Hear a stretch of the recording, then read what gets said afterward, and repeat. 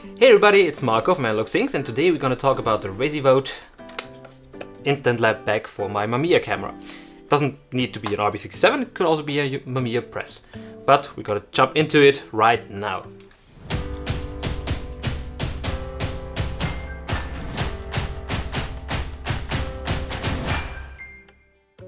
Let's talk about what we have here. This one is the Rezivot. I still don't know how to pronounce the name. Back for the Instant Lab. And it's actually a really nice invention. That little thing is actually amazing. You can put it on your Mamiya RB67 and take instant, like Polaroid Originals, film into your medium format camera or in the Universal Press cameras. These cameras are superior to every Polaroid camera because they have really good lenses, like amazingly sharp. They are manual control, they're just like, the lenses are beautiful. But what are the downsides and why would you actually need to get one of these? And did this stuff exist before? Yes it did. Polaroid produced an integral back which was called the CB70, if you like don't hold me accountable on the right name now, which is an integral back form produced, kind of like the Instant Lab, I would say. It's made for a medicinal field, so um, there were some cameras like microscopic cameras or stuff like that where you could put that on and you could just immediately take your instant shots. Nowadays, if we go into the in that field of like medicine or dentist or anything, we have everything in digital world. But like in former times, it was really common to use Polaroids because you got your results pretty fast, you didn't need to develop anything. And even like these um, 8x10 pictures, they were a lot of x-rays. Like actually you can get a lot of x-ray processors for 8x10 and that's where they were actually used before.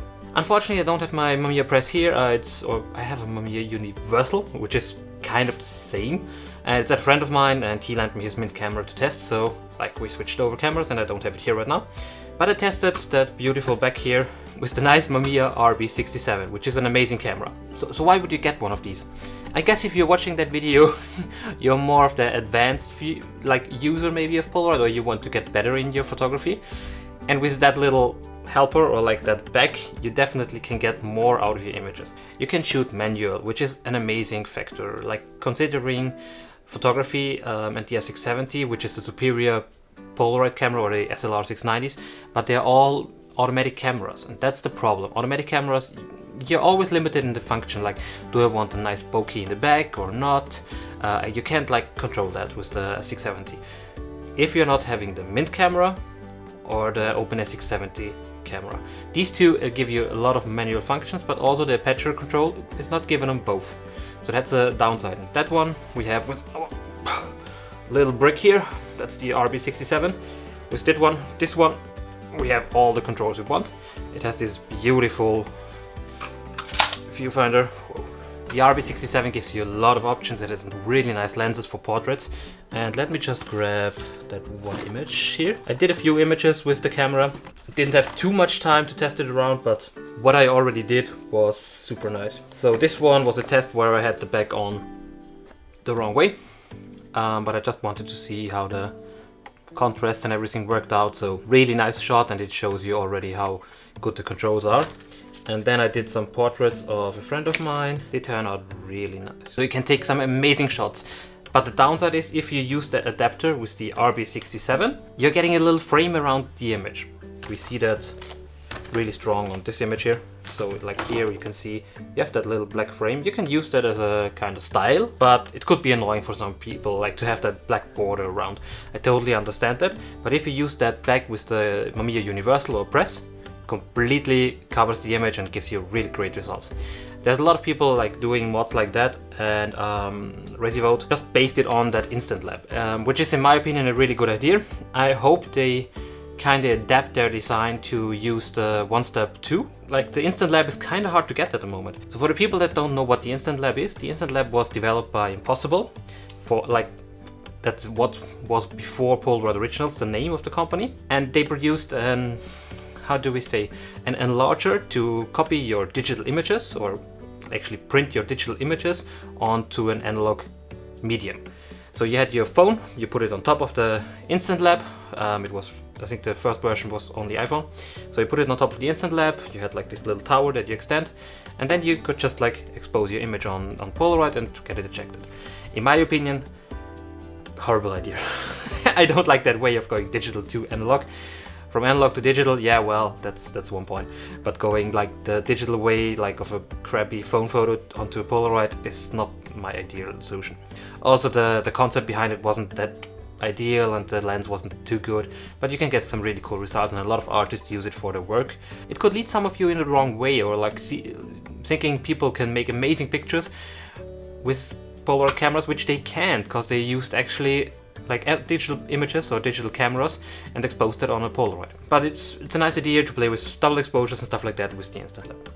So what we did was we disassembled the Instant Lab and unfortunately I filmed that already and I assembled everything and like the camera up here was out of focus so I, I, would need to reshoot everything but I'm too busy at the moment like with my girlfriend moving in next week it's like no chance I can do that.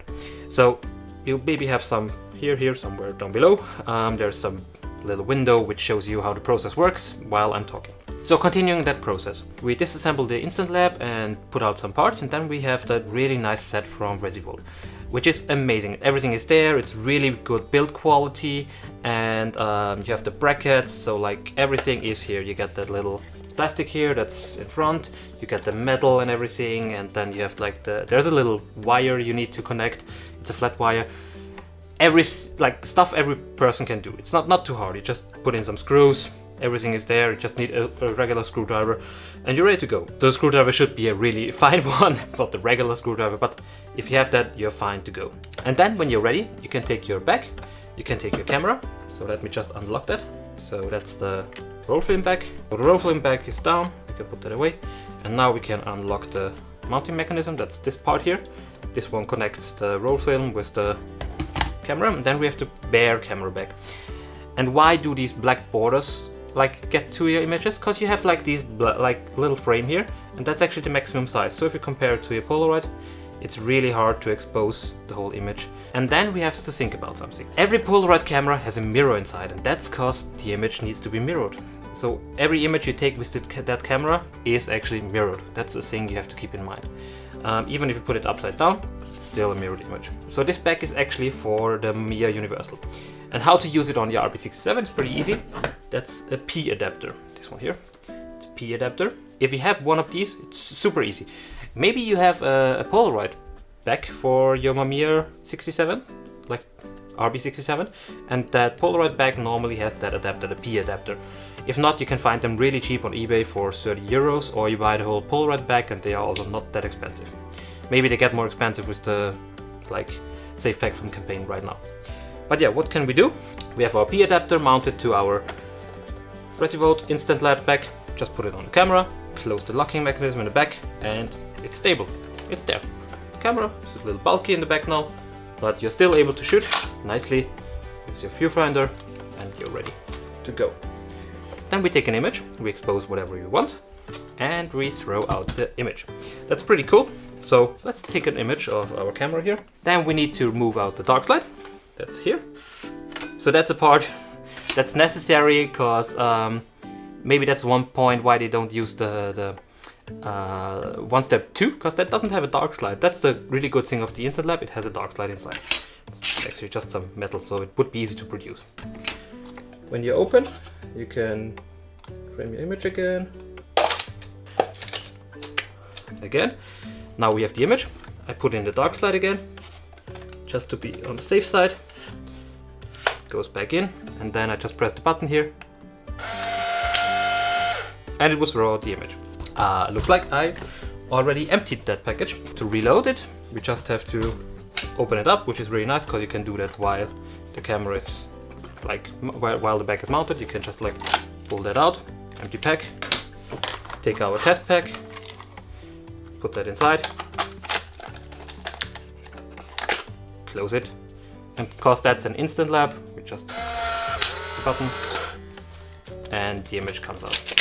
So a really amazing thing if you want to shoot on a different level. If you're already having a, a Mint manual camera for the S670 or like or an open S670 mount of your S670, you're kind of fine. But like that gives you a completely new level of photography. Medium format cameras are amazing, especially the RB67, I love it. Using that with that or getting my universal press and like shooting like whole coverage, which is like what I want to do soon, is like completely different beast. So I hope you like that thing. Uh, if you have any questions, drop them in the comments below. They have like the, the regular one at for sale already, so you just head over to the website, it will be linked in the description below. And they're currently working on an RB67 only bag that will be full aluminum, if I'm not mistaken. The regular mount, so you don't need the P adapter. I think that should come out next year, but like stay tuned on their website, they will for sure announce it. So check out their products. That's not all they have. They also have some other stuff and like what I also got is like back there on the shelf is a ground glass for my uh, Graflex and we will take a look at that pretty soon. And yeah, they have some other stuff too. Check their website out. I hope you liked that video. Um, I'm pretty busy at the moment. Sorry for the for like everything, uh, but like next year will be a new start and I will have more time for analog things and I hope to see you there. So I hope you liked that video. If you did, thumbs up. If you didn't, thumbs down. Subscribe to the channel if you want to see more content and I hope to see you next week. Bye!